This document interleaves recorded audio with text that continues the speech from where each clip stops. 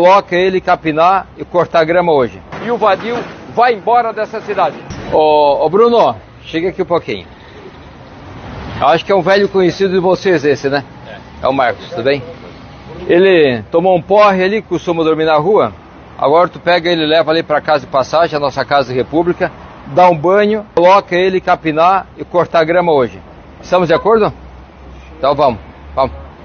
Pega aqui. Vamos lá? Vamos lá? Tomar um banho, dar um gás, meter os rangos para dar uma força e depois ó. Dê uma filmadinha aqui, ó. Isso. Ô Fred, aonde tiver casas assim, abandonadas em Criciúma, que servem de abrigos para moradores de rua, toque a máquina. Toque a máquina. E que não venha ninguém reclamar disso não.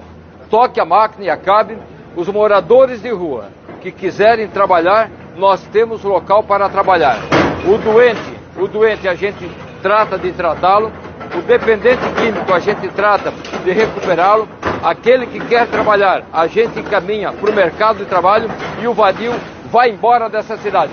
Pode tocar na máquina aqui. Já. Manda vir.